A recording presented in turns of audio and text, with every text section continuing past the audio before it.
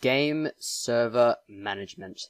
It's one of those things that game server hosts never tell you about. Well, in this video, I'm going to show you how to install the Pterodactyl panel so you can easily start your own server host. Now, to start off here, we will be using an install script for Pterodactyl to speed up the process and make things easier to install. Secondly, we will install what is known as the wings, but I'll make that in a separate video, so just be on the lookout for, the, for that video and, uh, you know, maybe click subscribe and click the notification bell and, and like the video so you don't miss that.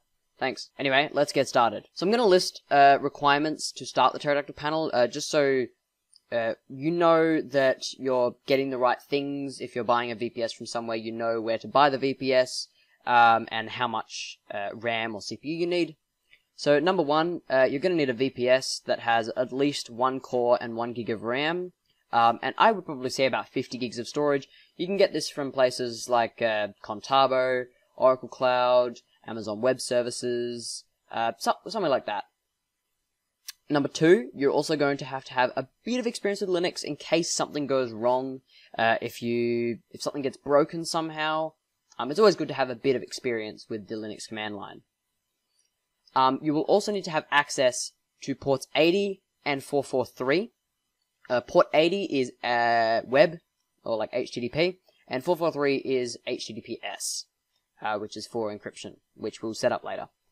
Um, this is just so you can access the web interface later, so we can actually start it. Uh, with that out of the way, let's jump onto our PC and get started.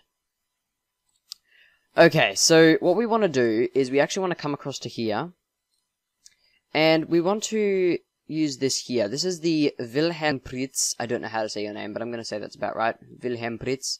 Vil, Vil, yeah, okay. Anyway, go to this link. I'll leave it in the description. Um, and come down to here. Um, you'll see there's like supported uh, panel uh, operating systems. Um, and then down here, there's a use the installation script.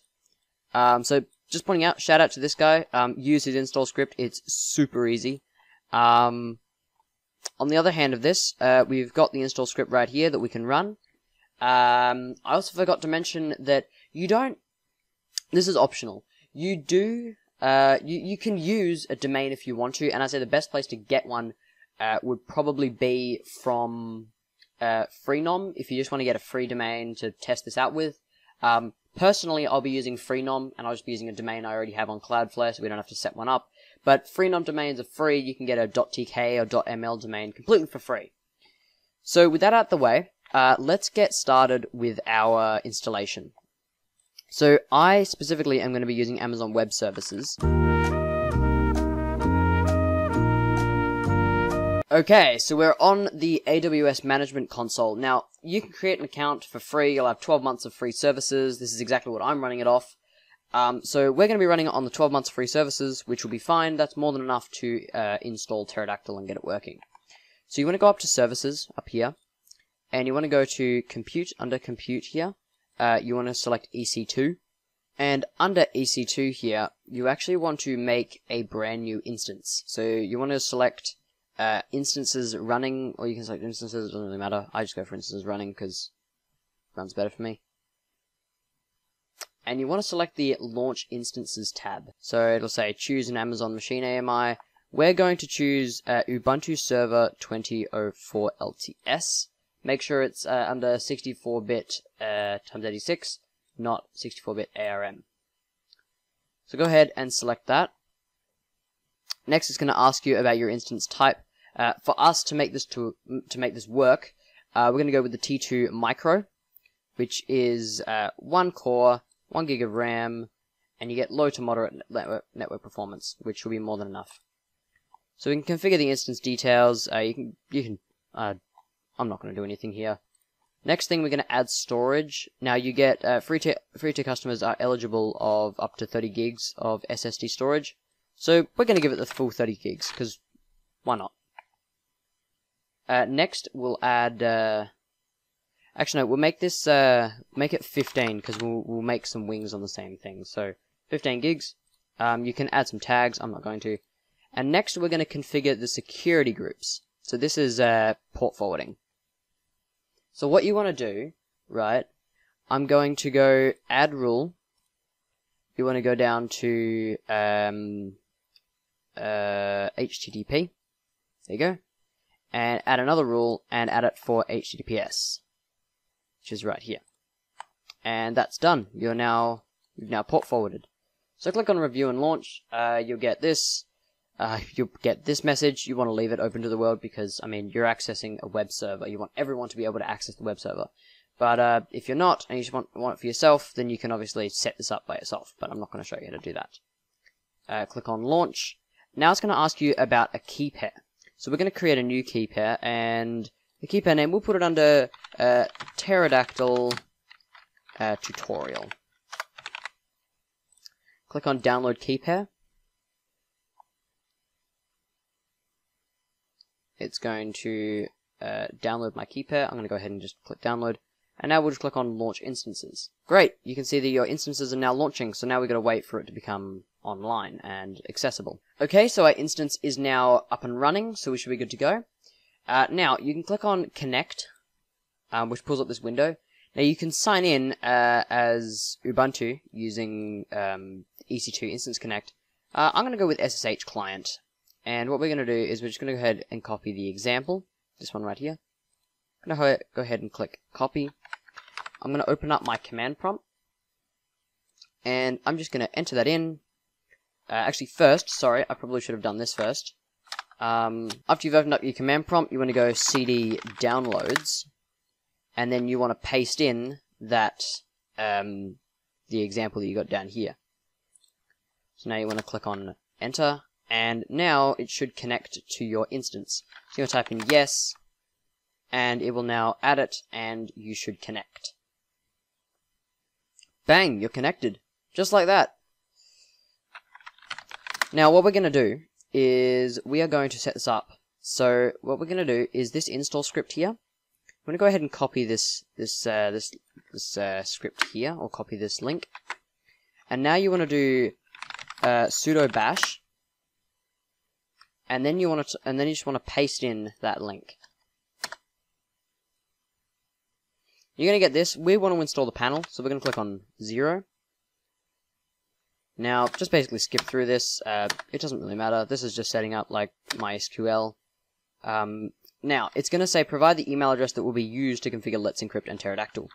I'm going to put in my email address. Email address for initial account. Um, it doesn't really matter. I'll put in my email. Username, uh, admin. First name, Oh, okay, fine. Put in my name then. Last name. Put in my name. Uh, and then put in a password. So any password will really do. And now you want to set the FQDN for this panel. Now what we're going to do is we're going to go ahead and go to Cloudflare. And I'm going to go ahead and pick off one of my domains so that we can uh, start making this. Alright, so we're going to be using freedomconnect.tk. This is again a Freenom domain. Um, you can get this for free and just add it to Cloudflare, which is exactly what I've done. Now, what we're going to do is you don't have to add a well, you don't have to add a record, but oh no, sorry, you do. I'm an idiot. I, I'm losing my mind.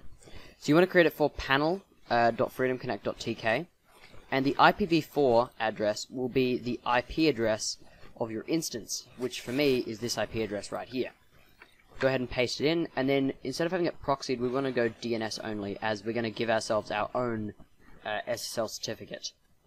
As I've just actually, I've personally, I've found it to be easier than using uh, Cloudflare's proxy. So we'll go ahead and save that, and once it's saved, we can go back across to the instance. And for some reason, I've been reset. Why? Why? Why? Okay, we're back. Uh, so now it's asking us to set the FQDN, which is going to be panel dot freedomconnect.tk. Go ahead and press enter on that. And it's going to ask us, do we want to configure the UFW? We do want to configure UFW. We'll let it do that. It's going to ask us, do you want to automatically configure HTTPS using Let's Yes, we do. And now it's going to ask us if we want to perform an HTTPS request on the domain. We're going to go yes, resolving DNS, and DNS verified.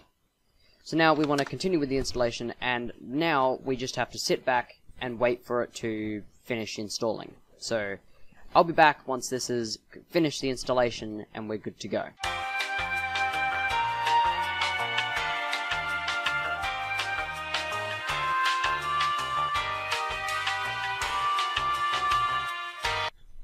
Okay, so once you see this screen here, you're gonna, so it's gonna ask you basically, do you want to accept the terms of service of Let's Encrypt? We're just gonna go A for agree. And it's gonna attempt to obtain a certificate, and it is deploying the certificate, and bang, you've got a certificate, and it is now done. Your panel should be accessible from this domain. Thank you for using this script. So now, come across to here and do panel.freedomconnect.tk. You can see, here we are, pterodactyl. So now if we type in admin and then the password, so the account that we just set up, and go log in, and just like that, you have installed the pterodactyl panel. Now there's there's wondrous things you can do with this. Uh, you can set up the wings, which we'll do in the next video. Uh, but basically, that's it. Uh, you've set up the pterodactyl panel, and uh, that's as far as I'll take you in this video. But in the next video, I'm going to show you how to install the pterodactyl wings, so you can actually like you can get proper servers running on here. So that's it for this video. Subscribe, like, comment what else I should do with pterodactyl, and I'll catch you guys in the next one.